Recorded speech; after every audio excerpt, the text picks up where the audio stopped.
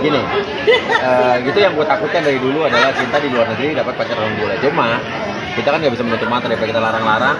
Yang penting kita harus bilang sama dia eh, bahwa eh, cari yang seiman. Kalau lo pacaran, even nanti ujung-ujungnya dapat bule ya. Kalau nanti akhirnya nikah, lo harus seagama kayak gini. Tapi udah ada belum sih maksudnya cinta? Nggak tahu, nggak tahu cuman dia temennya banyak sih, temennya banyak.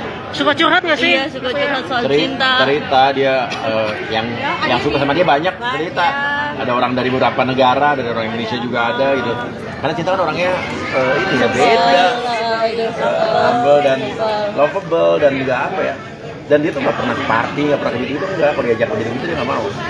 Nggak tahu dan sebenarnya dari sini begitu ya. Dari tinggal nah di sini no nih kalau di sana nih ya Kenapa PR emang Mas PR-nya, Nino? ya kan, kan, be- kan beda sama cinta karakternya dia kan Nino gaul main gitu. Kalau cinta juga bergaul tapi dia bergaulnya dia dia bisa apa ya? minum aja cuma air putih dan susu. Kayak apa kok soda itu dia sama sekali nggak suka Iya, jadi eh, beda sih enak emang dari kecil emang udah beda. Antik, ya. antik, antik banget. Kalau aku bilang kayak anak senja kenapa Punya kriteria sendiri nggak sih buat calon mantu mas biasanya?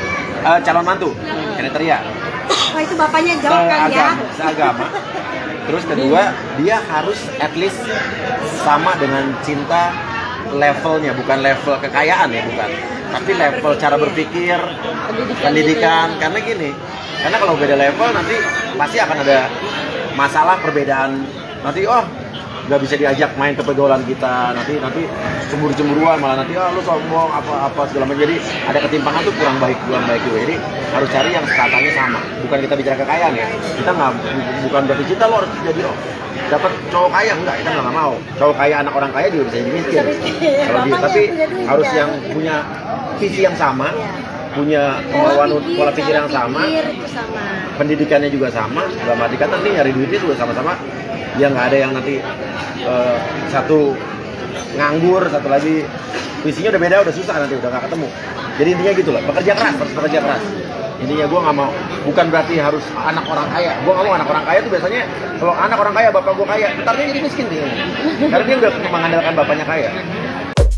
Terima kasih sudah menonton video ini. Jangan lupa subscribe dan aktifkan lonceng notifikasi supaya kamu nggak ketinggalan video terbaru dari Grid.